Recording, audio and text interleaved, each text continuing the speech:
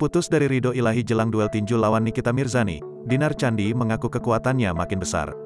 Pertandingan tinju Dinar Candi melawan Nikita Mirzani tinggal menghitung hari.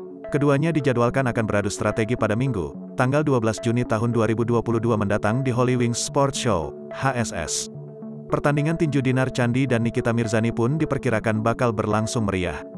Sebab, keduanya sudah menyiapkan strategi dan latihan rutin.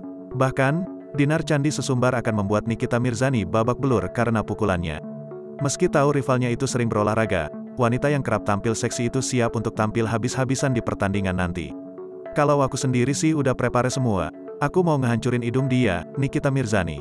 Aku juga udah siap hidung aku bengkok juga, kata Dinar Candi dikutip tribunstyle.com saat konferensi pers, Selasa, tanggal 7 Juni tahun 2022.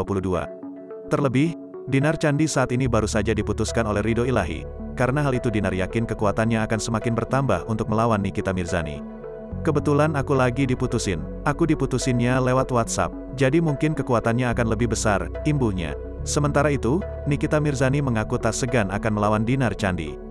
Janda tiga anak itu mengaku tak main-main dan akan melumpuhan Dinar Candi saat bertanding di ring tinju nanti.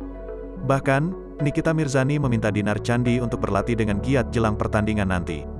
Melihat aksi Nikita Mirzani itu, Dinar Candi menduga mantan istri dipolatif itu khawatir pertandingan bakal berakhir tak imbang karena dirinya kurang latihan.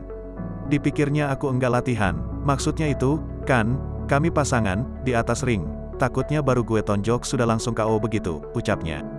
Sebagai informasi, selain Dinar Candi dan Nikita Mirzani, sejumlah selebriti lainnya yang ikut berlaga adalah Irma Darmawangsa vs. Barbie Kumalasari, El Rumi vs. Winson Reynaldi, Mario Lawalata vs. Roy Ricardo, serta Sabian Tama vs. Nicholas Sean.